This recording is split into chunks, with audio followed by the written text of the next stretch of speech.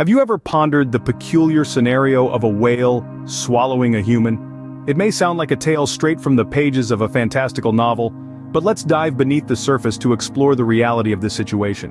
Whales are magnificent creatures, some of the largest animals ever known to have existed on our planet. But despite their colossal size, the actual possibility of a whale swallowing a human is extremely low. Here's why. Firstly, the anatomical structure of most whales doesn't allow for such an event. Whales, especially the baleen variety, have throat diameters that are much smaller than one might expect. The blue whale, the largest of them all, has a throat diameter of only about 9 inches, hardly wide enough to swallow a human.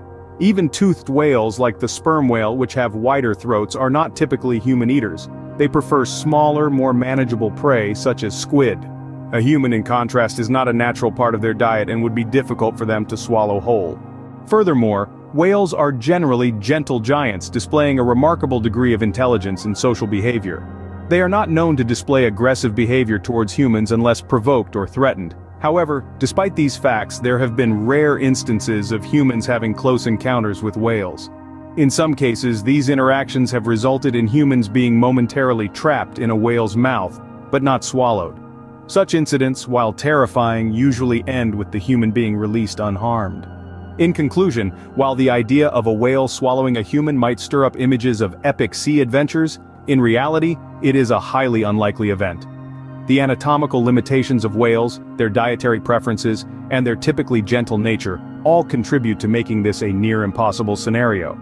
So, the next time you find yourself marveling at these majestic creatures, whether in a photograph or in person, remember that they are far more likely to provide us with awe-inspiring moments of beauty than moments of fear. And as we continue to learn more about these incredible marine mammals, Perhaps we will come to understand them not as the terrifying beasts of folklore, but as the gentle and intelligent creatures they truly are.